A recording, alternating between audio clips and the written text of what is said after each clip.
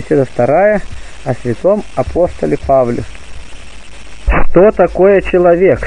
Каково благородство нашей природы? И к какой добродетели способно это существо? Больше всех людей показал на себе Павел. С того времени, как стал апостолом, до ныне он громким голосом оправдывает Господа против всех осуждающих его за такое устроение нас – побуждает к добродетели, заграждает бесстыдные уста хулителей и показывает, что между ангелами и людьми невелико расстояние, если мы захотим быть внимательными к самим себе. Он получил не иное естество, имел не иную душу, жил не в ином мире, но был воспитан на такой же земле, в такой же стране, под такими же законами и обычаями, и превзошел всех людей, бывших с того времени, как стали существовать люди. Где же те, которые говорят, что добродетель трудна, а порог легок?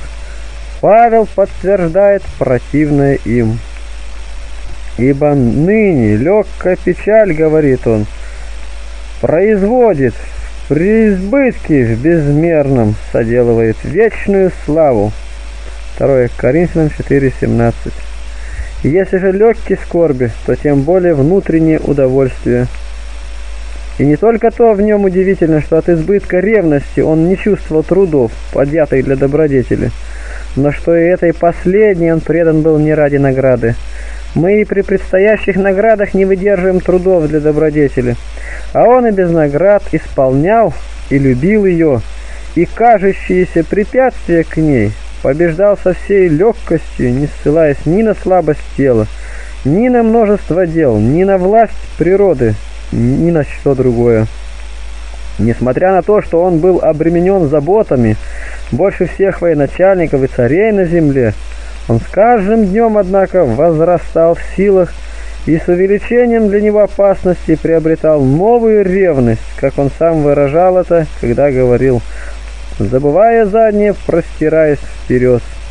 И, ожидая смерти, призывал к участию в этой радости, говоря «радуйтесь и сорадуйтесь со мною» и при виде опасности, обид и всякого бесчи... бесчестия также ликовал. И в послании к Коринфянам говорил, «Я радуюсь в немощах, в обидах, в скорбях». Все это называл оружием правды, выражая, что и отсюда он получал величайшую пользу, и со всех сторон был неумолим для врагов, везде встречая удары, оскорбления, злословия. Он, совершая как бы торжественное шествие и воздвигая по всей вселенной непрерывные трофеи, восхищался и возносил благодарность Богу, говоря, «Благодарение Богу, который всегда дает нам торжествовать во Христе, и благоухание познания о себе распространяет нами во всяком месте». 2 Коринфянам 2.14 Бесчестие и оскорбление за проповедь он искал больше, чем мы чести. Смерти больше, чем мы жизни. Бедности больше, чем мы богатства. Трудов больше, чем другие покоя. И не просто больше, но гораздо больше. Печали больше, нежели другие радости. И молитвы за врагов больше, нежели другие молитвы против врагов. Таким образом, он превращал порядок вещей, или лучше, мы превратили его, а он соблюдал его так, как установил Бог. Все первое естественно, а последнее напротив. Кто служит тому доказательством? Павел, который был человеком, и однако искал первого больше, нежели последнего.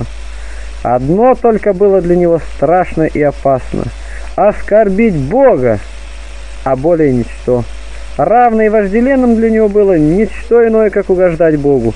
Не говорю, ничто из настоящего не было для него вожделенным но даже из будущего. Не говори мне о городах, народах, царях, войске, оружии, богатстве, начальстве и власти. Это он не считал даже и за паутину. Но представь то, что на небесах, и тогда увидишь силу любви его ко Христу. Питая эту любовь, он не удивлялся достоинству ни ангелов, ни архангелов, и ничему другому подобному, потому что имел в себе то, что выше всего – любовь Христову, и с ней он считал себя блаженнее всех, а без нее не желал быть ни с господствами, ни с началами, ни с властями. С этой любовью он лучше желал быть в числе последних и наказываемых, нежели без нее в числе высших и получающих почести. Единственное наказание для него было лишиться этой любви. Это было для него гиенною, мучением, верхом зол, равно как иметь ее было наслаждением. В этом для него была жизнь. Мир, ангел, настоящее, будущее, царство, обетование, верх благ. Все другое, что не относилось сюда, он не считал ни прискорбным, ни приятным, но презирал все видимое точно гнилую траву. Властители и народы, дышащие гневом, казались ему комарами, а смерть, казни и бесчисленные мучения детскими игрушками, кроме разве когда он терпел из-за Христа. Тогда ими он восхищался и узами величался так, как не величался и Нерон имея диадему на голове и в темнице, жил как на самом небе. И раны и бичевания принимал с большим удовольствием, нежели другие хватают награды. Он любил труды не меньше награды, считая самые труды наградой для себя, почему и называл их благодатью. Посмотри, разрешиться и быть со Христом было для него наградой, а оставаться во плоти подвигом. Однако он избирает последнее преимущественно перед первым и говорит, что это для него необходимее. Быть отлученным от Христа было для него подвигом и трудом, или вернее выше и подвига и труда, а быть со Христом наградою. Однако для Христа он избирает первое преимущественно перед последним. Но может быть кто-нибудь скажет, что все это было ему приятно ради Христа. И я также говорю, что ему доставляло великое удовольствие то, что нам причиняет скорбь. Но для чего я говорю об опасностях и других бедствиях? Он был непрестанно в скорби, посему и говорил, «Кто изнемогает, с кем бы и я не изнемогал? Кто соблазняется, за кого бы я не воспламенялся?» Кто-нибудь скажет, что и в скорби есть удовольствие. Например, многие, потеряв детей, имея свободу плакать, находят утешение. А если им препятствует в этом, то печалятся. Так и Павел, проливая слезы, ночь и день находил в них утешение, потому что никто так не плакал о собственных бедствиях, как он о чужих. Что, думаешь, ты чувствовал он, когда, видя, что иудеи не спасаются, просил быть самому ему лишенным вышней славы, чтобы они спаслись? Отсюда видно, что спасение их было для него гораздо тяжелее, потому что если бы это не было тяжелее, он не просил бы о том, он избрал то лишение небесной славы, как легчайшее и более утешительное, и не просто лишь желал, но и взывал так. Скорбь и теснота, болезнь сердцу моему. Итак, кто ежедневно, так сказать, плакал о живущих по всей вселенной, и о всех вообще народах и городах, и о каждом порознь, того, с чем можно сравнить? С каким железом? Каким адамантом? Какой можно назвать эту душу? Золотою или адамантовую? Она была тверже всякого адаманта, дороже золота и драгоценных камней. Первый он превосходил своей твердостью, а последнее своей драгоценностью. С чем же можно сравнить ее? Ни с чем существующим. Если бы адамант сделался золотом и золото адамантом, Тогда составилось бы из них некоторое для ней подобие. Но для чего мне сравнивать ее с адамантом и золотом? Весь мир противопоставь ей, и тогда увидишь, что душа Павлова важнее его. В самом деле, если о тех, которые скитались в милотях, пещерах и в малой части Вселенной, он говорит, что весь мир не был достоин их, то гораздо более мы можем сказать о нем самом что он достоинством своим был равен всем. Но если мир не стоит его, то кто же стоит? Может быть небо? Нет, и оно мало, потому что если он сам небу и тому, что на небе, предпочел любовь Господню, то гораздо более Господь, который столько превышает его благостью, сколько добро выше зла, предпочтет его множество небес. Он любит нас не так, как мы его но настолько больше, что невозможно выразить никаким словом. Посмотри, чего удостоил он Павла еще прежде будущего воскресения. Восхитил его в рай, вознес на третье небо, сообщил ему такие тайны, каких нельзя пересказать никому из имеющих человеческую природу. И весьма справедливо, потому что он, ходя еще по земле, все делал так, как бы жил в обществе ангелов, быв связан с смертным телом, являл их чистоту и был подвержен таким немощам, старался быть нисколько не ниже вышних сил.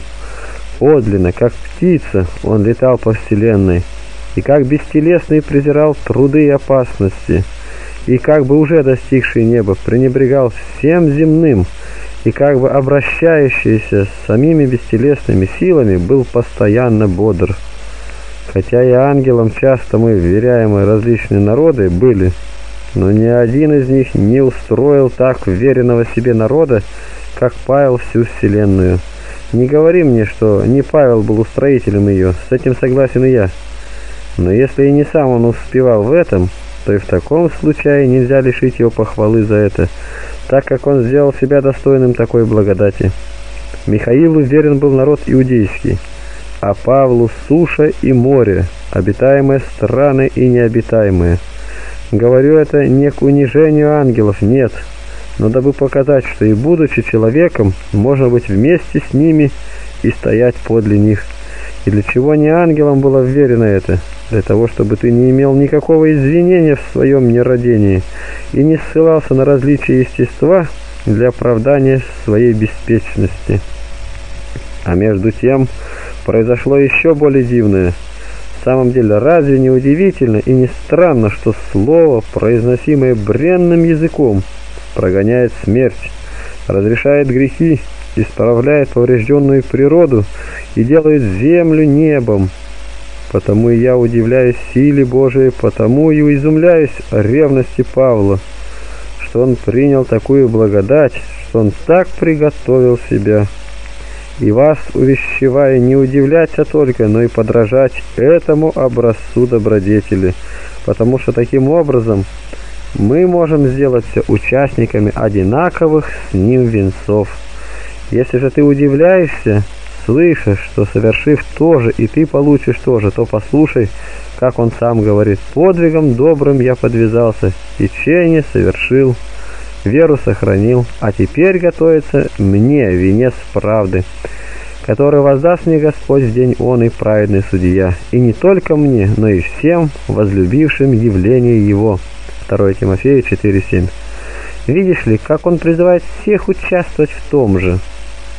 Итак, если всем предстоит то же, постараемся все сделаться достойными обетованных благ.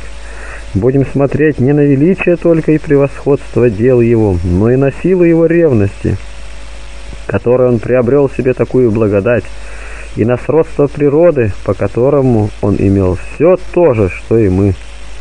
Таким образом, и весьма трудное для исполнения окажется для нас удобным и легким.